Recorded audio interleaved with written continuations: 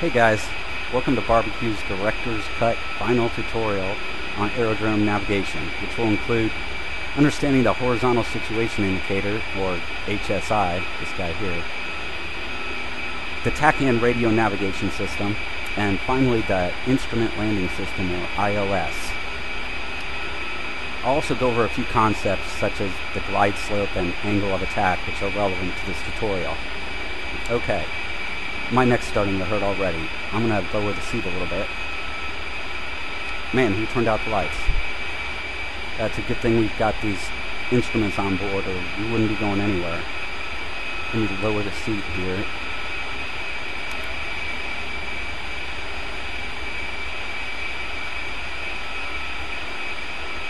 Ah, much better.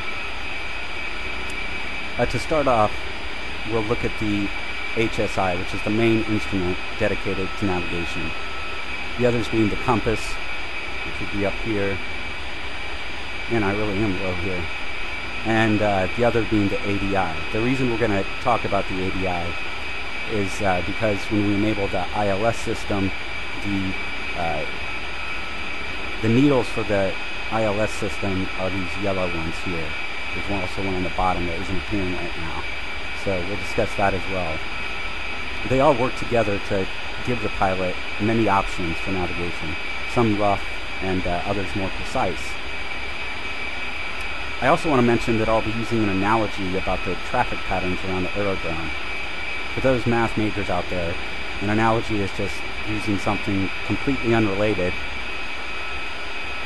in a way, to get across a concept to a, a student or reader that they might relate to and so understand the concept that way. I live in Indianapolis, Indiana, and we have many interstates that go through the center of our, of, of our capital, Indianapolis, hence the nickname Crossroads of America. We also have an interstate that goes around the city of Indianapolis, 465. It's basically a circle around the city with various exit ramps to access different parts of the town. I'll be using this analogy throughout the tutorial. Also, it could be helpful to imagine an old, old west wagon wheel with spokes. The aerodrome being the center of the wagon wheel, and the spokes would be the radials. Every aerodrome has certain airways that are on these radials. Think of the spokes as the interstates that come through your nearest city. And think of the outer edge of the wheel, that is the circle, as the interstate, like 465 in Indianapolis, that goes around the city. Okay, so all of this is pretty general. You, you can use the TACAN station and the HSI on these, quote, roads, and they will get you close to your destination. But they won't take you all the way to your front door. Enter ILS. Once you make it into the city, ILS is like making that final turn onto the road that you live on. We're talking fine precision here. Okay, enough with the literary metaphors and analogies and the like. We're hog drivers after all. Let's take a look at the primary instruments we'll be dealing with, first of which will be the HSI. HSI has a number of things going on. A, a compass rose, this circle here, which tells you your current heading at the top. It also has a course knob which allows you to put in a desired course to a given nav, nav point, which is this knob here. Two RMI needles which point to the current navigation point that is selected, depending on where they get their info from. And a course deviation indicator line. Here are the needles by the way. This one's labeled, it's skinnier and it's labeled number one. This needle is labeled number two and it's, it's fatter. And then there's also a course deviation indicator line. This is the course line with this big fat arrow here, and this is part of that line, but it's it's a deviation indicator. So the goal there would be if you want to arrive at a nav point from a certain uh, bearing, you want to pick up a course to to hit that nav point from. This needs to be lined up with this this CDI needs to be lined up with this course line so that it forms one solid line and they would all be pointing directly up and you would be on that course to that nav point. So it's the middle part that you often see skewed to one side or the other on the CDI. There are also a few windows. One is the course setting described above. that you can input by changing this knob here. And the other one is uh, shows the range to the source by way of distance measuring equipment, or DME. That would be this window here. It's always a good idea to set the course knob to the runway heading at the beginning of a mission to ensure you've got the perfect exact course input. Wait until you're actually on the runway and line it up so that it points to the 12 o'clock position. So we can do that now. And we're at Kutaisi and the runway is called 8. So let's set it to 080 by scrolling up and see how close it gets.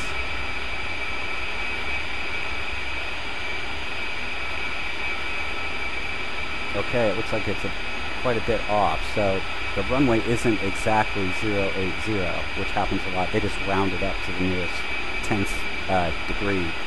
So it could be, you know, it's closer to 071, which I happen to know from experience. And so when you put it, line it perfectly up, it actually shows 062, but the TACAN station, which this needle, number one, is pointing to, isn't exactly in the middle of the runway. It's like off over by the porta potties or something. So you kind of have to know from experience what it should look like when you're coming in for a landing, and that's about right. All right. So I mentioned that the two needles point to different sources. What are the sources? They can be a TACAN station, like we've been talking about, um, or a TACAN radio, which could be in another aircraft, which would point you to that aircraft, like a tanker, for example. Um, and it's all based on what you designate using the TACAN channel selector on the panel back here. So if we move back here, you set this channel up for a particular airport or aircraft and put it to TR for transmit and receive. If you use aircraft, you, you have to put it on the AATR. But just for an airport, you put it on transmit and receive. And that's going to determine where needle number one is pointing. So, um, the other needle can be uh, the little fat one, number two. Often I find points to the uh, navigation point that you, uh, the steer point you currently have selected that from the flight plan that, would, that was loaded on the data cartridge. So if I could have to stand up here, uh, that would be number one here. So this mode panel here, if I choose instead of TACAN steer point, I think you have to unselect TACAN first. This is the default sort of when nothing's selected, it looks like this. You go to steer point here, yeah, they both point to the steer point in question, and then it's starting to give us a range to that steer point. But we're not going to worry about that right now. We'll take steer point off and TACAN back on. Um, two is still pointing to that steer point, by the way, and one is pointing to the TACAN station with a range of close to zero because they're at the airport. So you can have two of them going on at the same time. Uh, let's see here. The the number one needle always seems to, to use the tack TACAN as its source. Um, I can't say that for 100%, but in my experience, it always seems to be the default TACAN on my needle. Um, if the station is transmitting and you have the correct channel input, it should point to it. Now for the ADI, uh, this shows the aircraft's current attitude. That is, the, the flight control surfaces are causing the aircraft for example, to be pitched up 5 degrees in a 30 degree left-hand turn. The reason I include the ADI in this tutorial, as I said before, is because of the ILS indicators, which are these yellow uh, bars here, the one on the bottom you can't see yet. The ILS needles appear on the ADI, not the HSI. So the first part of your approach, you want to use this instrument attacking to kind of rough in. You're just kind of coming in on the interstate into town and then when you get up on your exit ramp, you go to the ADI to look at the ILS system to make that final turn onto the street that you live on, so to speak. Okay, so I've already input the correct frequencies into the TACAN and the ILS, but just a little review on that. Um, this knob here controls the first digit. This knob controls the second digit and the the uh, letter. I think that the Y's are usually used for aircraft. And um, you right click on it to change to the other digit. So I can change that to, from X to Y and back. Right click it again, you can change the second digit. So 44X, that's us. And then on the ILS panel, you've got volume and uh, you have to right click and hold to change the volume or to change these two digits here you just scroll it up and down and be at 10975 and this knob here controls the first three digits back and forth and you turn it right click on this to turn it on so that the power it's receiving power now make sure that you hear an audio tone for both of these before you mute it I've already muted it, but to mute it, an easy way is on the intercom uh, panel over here. You can see that I've depressed these two. We pop it back open, both of them, you should start hearing some audio tones, which I'm not going to wait around to find out. There they are. Okay. So you just push them, left click on them, and it'll mute them. All right. So we've already also uh, set the course, sorry about that, of the runway. Hey guys, uh, I had to uh, had a little snafu with that last video and I've had to to a different airport, but basically now that we've talked about all the instruments, um, I imagine you're just coming back from a, uh, a hop and you're uh, lining up on the runway about 13 miles out this is what I'm doing now, and um, you can see the ILS bar at the top of the ADI there. That's the glide slope. And then the other one's going to be popping in here in a minute. I'm a little bit uh, to the left, uh, or rather I'm to the right. I need to be, I need to move to the left a little bit to line up. Uh, you can see the course deviation indicator on the HSI that is telling me I need to do that and then I'll, as it starts moving towards the center, I'll, I'll line up and probably be about 10 miles out. There goes the other ILS bar. Now I've got both of them, and it's also telling me I need to go to the left. Now just because the, uh, the top bar on the ADI is saying I'm too high, that's okay. You just keep your altitude, and um, it will since it's an angle, it's like a, a, ramp going from where you are down to the runway threshold. You know, you're going to, uh, that's just going to keep moving down as you get closer to the airport. But then once it, once it centers, you want to keep it centered. And um, so you'll have to uh, pitch the aircraft, or rather have an angle of attack that, that has you going down that ramp. So um, this actually turned out pretty bad. but I decided to keep it because it shows you a common mistake, which is uh, uh, chasing these these ILS indicators. Once they get into the center, you really want to, or, or you have to do a correction. Just want to maintain that one degree or two degree correction. Watch the bar go towards the center. Don't follow it, and then once it gets to the center, then then turn to it. Otherwise, you'll be chasing it back and forth all day long, which is sort of what I do in this example.